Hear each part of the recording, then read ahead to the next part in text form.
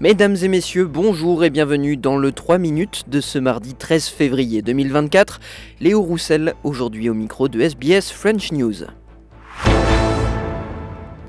Le gouvernement australien a présenté ce mardi devant le Parlement son rapport annuel du programme Closing the Gap, qui vise à réduire les inégalités entre les aborigènes et insulaires du détroit de Torres et le reste de la population australienne. Les conclusions du rapport sont une nouvelle fois alarmantes. Seuls quatre des objectifs fixés par le programme sont en passe d'être atteints. Quatre autres piliers se sont dégradés, notamment euh, en ce qui concerne le développement de la petite enfance et le taux d'enfants placés. Le gouvernement a annoncé qu'il allait nommer un commissaire national chargé d'améliorer la situation des enfants aborigènes et insulaires du détroit de Torres. La ministre des Australiens autochtones, Linda Burney, a déclaré que ce nouveau commissaire travaillerait avec les communautés et avec les commissaires des États et des territoires. Indigenous children are almost 11 times more likely to be in out of home care non Indigenous children. And of course, all children no matter who they are, deserve to be safe.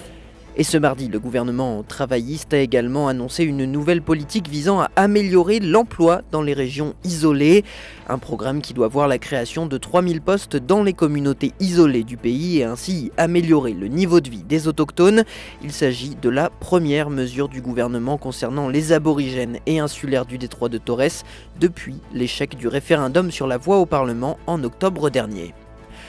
En Australie, toujours des centaines de personnalités publiques juives appartenant à un groupe WhatsApp privé ont vu leurs coordonnées et leurs photos publiées en ligne par des militants pro-palestiniens. Le gouvernement fédéral a réagi et a promis ce mardi de faire de cette pratique, connue sous le nom de doxing, une infraction pénale. On écoute le procureur général australien Mark Dreyfus. Uh, the use of people's personal information without consent, the opportunities for really malicious actions uh, to take place affecting hundreds or thousands of people very, very quickly uh, has uh, been made possible. Legislation has struggled to keep up. That's part of the reason behind this reform of the Privacy Act that we've uh, embarked on. And clearly, all of those things are needing to be looked at.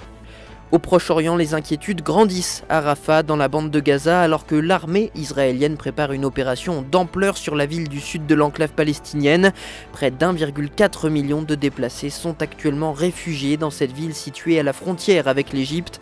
Le Premier ministre israélien Benjamin Netanyahou assure que des options sont laissées aux déplacés, notamment dans des zones du nord de la ville, une version contredite par le porte-parole des Nations Unies Stéphane Dujarric, qui a une nouvelle fois appelé un cessez-le-feu ce mardi. As it is, there is no place that it's safe, currently safe in Gaza. Vast majority of people are in the south.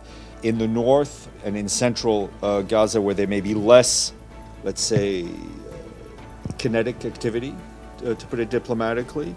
Uh, there still remains a huge challenge of unexploded ord ordnance.